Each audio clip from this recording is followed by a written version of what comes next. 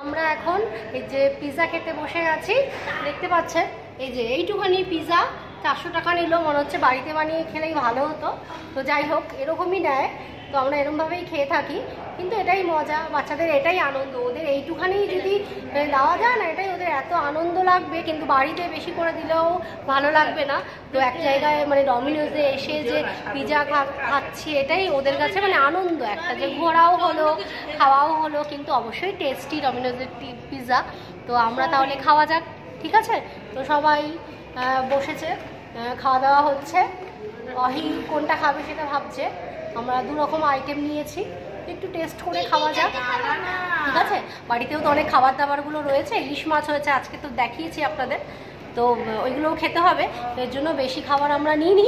অল্প করেই নিয়েছি স্ন্যাক্স টাইপের তো এইগুলো খেয়ে আবার বাড়িতে গিয়ে ইলিশ মাছগুলোও তো খেতে হবে। কারণ ওগুলো তো নাহলে নষ্ট হবে। তো যাই হোক খাওয়া যাক গরম গরম তাহলে। ঠিক আছে স্বর্ণ? স্বর্ণ? খাওয়া যাক তাহলে? অহি খাওয়া যাক তাহলে? কেমন মজা হচ্ছে একটু ফ্রেন্ডসদের বলে দাও? ডমিনোজে এসে মজা করছ? মজা পেয়েছ তো? আরে বাবা। স্বর্ণ মজা পেয়েছ? ও স্বর্ণ তো খাবে না ও এখন খাবে তো বুঝতে পেরেছেন তো? তাহলে আমরাও গরম গরম খেয়ে নিই